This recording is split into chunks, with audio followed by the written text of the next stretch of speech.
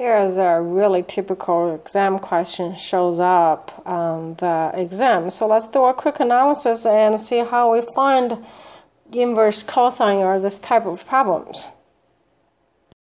Alright, so here are the steps. Whenever we're giving an inverse function of something, we're going to rewrite this and we're going to let the theta equal to this thing.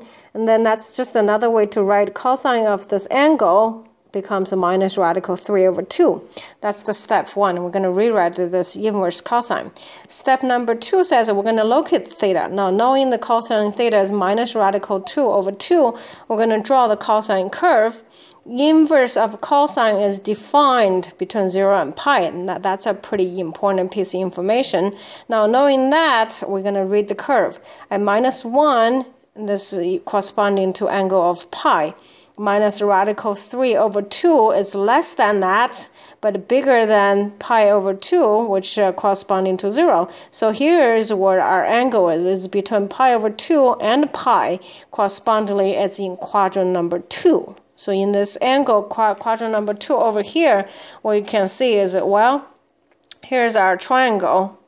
Uh, minus radical 3 over 2 is the x value and the unit circle radius is 1, so corresponding to this angle, and this angle happened to be 150 degrees.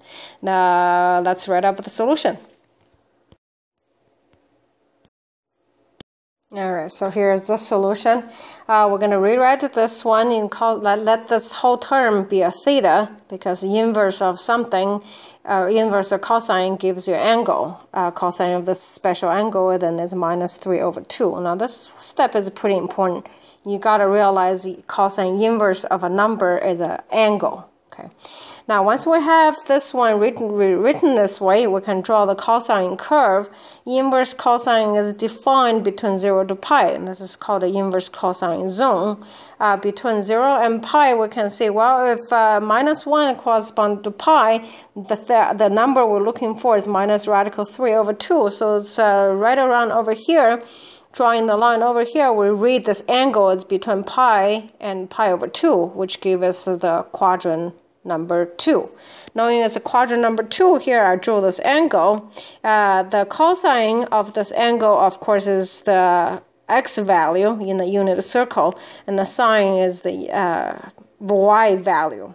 Since uh, sine of the y value of this angle here is uh, half, half is here, so this angle here is 30. That leaves this big theta is 150 degrees.